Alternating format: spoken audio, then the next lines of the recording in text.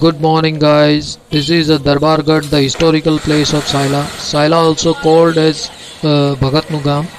Lalji Maharajni Jagya is also another well-known place of Sayla.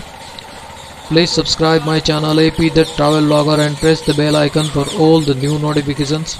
Like, share, subscribe and comments. Thank you.